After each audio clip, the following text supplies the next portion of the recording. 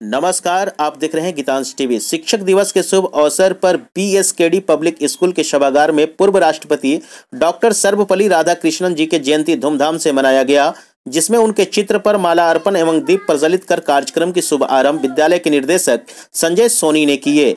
इस अवसर पर उन्होंने अपने संबोधन में कहा कि डॉक्टर सर्वपल्ली राधाकृष्णन जी एक अच्छे शिक्षक एवं एक अच्छे राष्ट्रपति से पहले एक अच्छे विद्यार्थी थे। विद्यार्थी को उनके जीवन से प्रेरणा लेनी चाहिए। एक अच्छा विद्यार्थी जीवन में जो भी चाहे, उसे प्राप्त कर सकता है। इस अवसर पर सांस्कृतिक कार्यक्रम का भी आयोजन किया गया एवं विद्यालय के शिक्षकों एवं शिक्षिकाओं को सॉल उड़ाकर सम्मानित किया गया, जिसमें प्राचार्य अभिषेक कुमार उप प्राचार्य रीना चंद्रवंशी, अल्पना सोनी, राजू रंजन चौधरी, परशुराम दुबे, राजू रंजन ठाकुर, निस्बत खान, सत्येंद्र पांडे, लक्ष्मी कुमारी, सरिता कुमारी, अंजना सिन्हा, आरती चौबे, गीता कमलापुरी, रेणु कुमारी, जूही कुमारी सहित शिक्षकों के नाम शामिल हैं। धन्यवाद।